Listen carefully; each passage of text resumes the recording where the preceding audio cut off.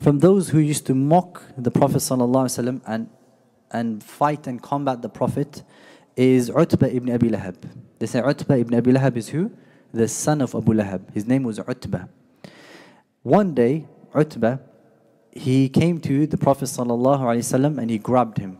As he grabbed him so hard, he tore his shirt. Shaqqa qamisa. He tore the shirt of the Prophet ﷺ. The Prophet ﷺ made dua against Utbah.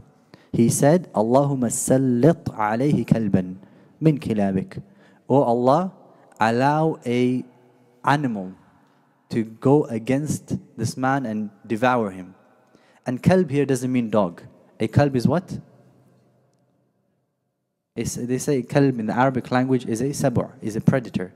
A lion, a, a hyena, all of this is called a kalb. Even though nowadays you say kalb, what does it refer to? Dog. But it's all of that included. They say Utbah one day, he went to Sham. And what he said, Inni akhsha du'a Muhammad. I'm scared of the dua of Muhammad sallallahu alaihi wasallam. So the people around him, his friends, they said, don't worry. You sleep tonight, we will put our belongings around you. So if any animal wanted to attack you, he couldn't. So they say they put the belongings, their belongings around Utbah and they went to sleep. That night, they say a lion came out, attacked Utbah and killed him. And he died. So this is the story of Utbah ibn Abi Lahab.